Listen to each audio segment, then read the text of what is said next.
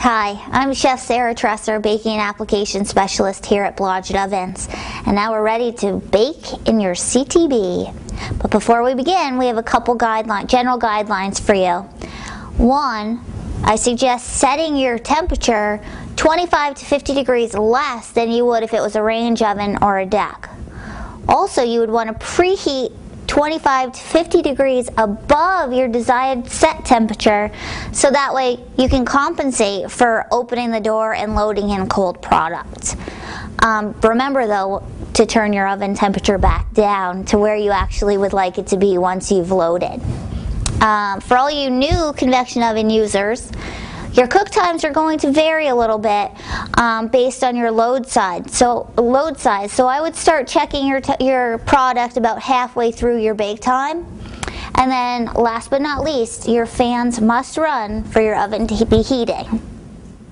Now we're ready to cook some products. I have here some frozen french fries, some roasted, well, they will be roasted. It's just Idaho potatoes tossed with olive oil, salt, and pepper, and then a frozen macaroni and cheese.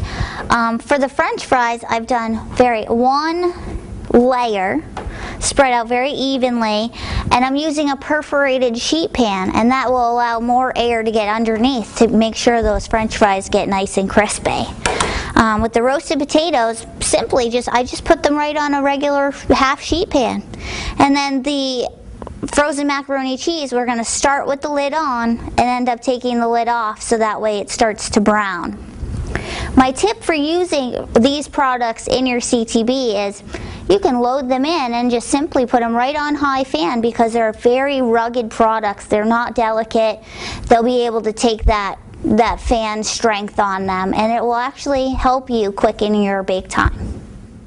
So now that our other products are already in the oven, I'm just going to give you a little quick tip on baking in your CTB.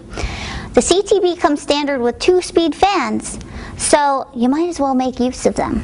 Um, we have some muffins here which are actually a, a, little on the delicate side.